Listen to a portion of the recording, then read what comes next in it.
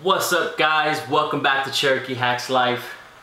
So for uh, for this video, I'm gonna have to bring out my inner Brandon from Campbell Fitness. You know, you gotta I gotta channel him because this is like science. And this is his thing, science. So let's go ahead and bring out the inner Campbell. All right, ready? Boom. Yeah, yeah. The inner Campbell. Yeah, that's right. That's right. How the only way you can channel it, man. You gotta, gotta clean it up. yeah, guys. Basically, here's how it breaks down. Um, there's a couple vitamins that I would recommend for you taking that I started doing a lot of research on and what exactly is going to be helping me in terms of recovering fast, faster, ligaments and the tendons and stuff. So let me kind of break it down. I talked about it before in this other video that was pre pre-surgery. But basically, one big one is vitamin A. and the reason for vitamin A, vitamin A is just because it's effective against infections. Um, it's effective in creating new tissues around like a wounded area as well. It's recommended that you take about 10,000 to 2,500 um, intake units daily.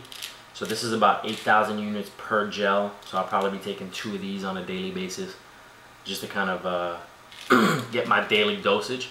Now you can find this stuff in like eggs, just naturally eating foods and stuff. So I can find it in eggs, you can find it in fish, uh, you can find it in the liver. All provide high levels of it, but figured I'd get a pill for it too. Um, and then obviously vitamin C, uh, you know, it's uh, vitamin C is vitamin C, man. It helps with, uh, it's necessary for collagen, collagen production. It's necessary for regenerating tissue. Vitamin C is obviously good as well for your immune system. It's good for um, really just helping you recover faster because that's ultimately what you want to do after surgery. You want to make sure you heal well. So I'm definitely be taking some vitamin C. And of course, you can find it in citrus products, um, juices, orange juices and stuff. But again, I figured I'd get a pill for it, just kind of supplement a little bit extra daily. And it's recommended you take about 5,000 or 500 to 1,000 milligrams a day. So this pill right here gives me about 500 milligrams. So I'll probably just be taking one tablet of these just to kind of hit my limit. So the other one that I would recommend taking as well, especially coming post-surgery like mine, again, I tore my labrum, um, and that's ligament, and when he goes in, there's ligament damage, and then again, I'll show you guys the pictures as soon as I get a chance to actually put them up.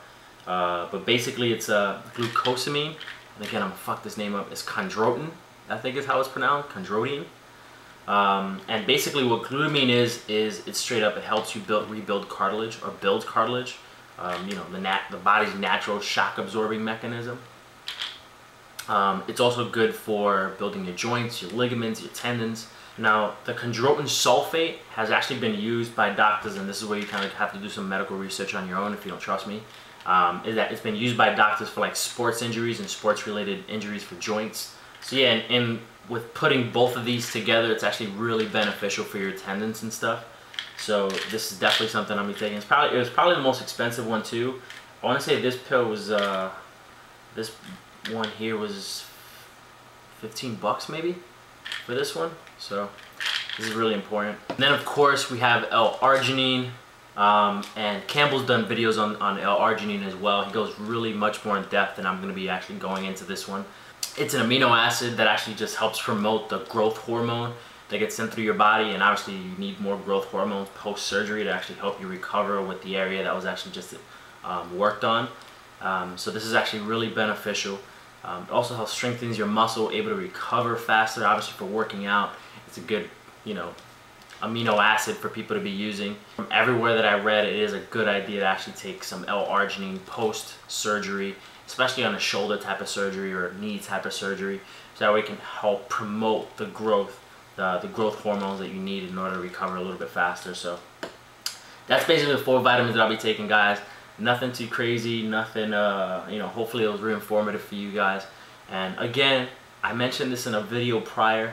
Make sure that you're not getting the L-arginine and or getting any one of these vitamins and taking them right before surgery, you should be stopping them probably three, two to three days before you actually go into surgery. So that way there's no complications or anything.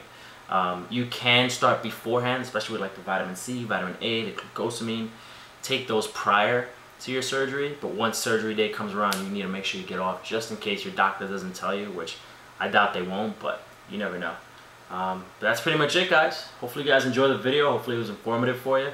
Um, and hopefully, I was able to pull off uh, the Campbell, pull out my inner Brandon.